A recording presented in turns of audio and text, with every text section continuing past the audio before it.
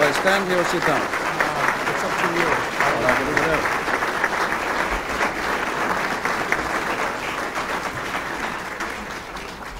Thank you, Mr. Prime Minister. A questioner asks, President Bush's call for a new world order under law has been variously interpreted. From your perspective, what do you believe the broad goals should be in a new world order? That's a new speech, although a slightly longer one. Um,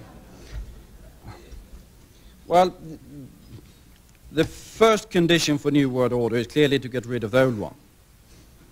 Uh, and that is to a certain extent completed. You might find the odd example of countries and regions where the process hasn't been concluded. Well, Cuba, to take one example.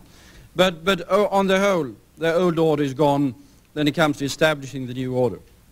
Well, what, what I'm stressing in all of my talks here is that a precondition for a new world order being stable is stability in all of the areas that were so seriously affected by the Soviet Union and by Soviet policies and by the Soviet Empire.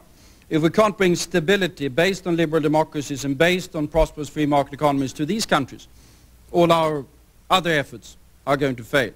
But if we succeed in that, and we and we, primarily they, with our help, uh, that's not enough.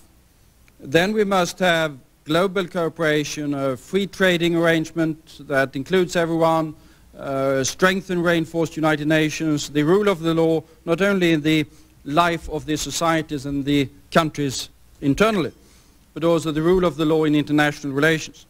And on all of these fields you can see that prospects are indeed better than they have probably ever been. But we aren't there yet. And we'll probably have to spend most of the 1990s making certain that we do realize the prospect.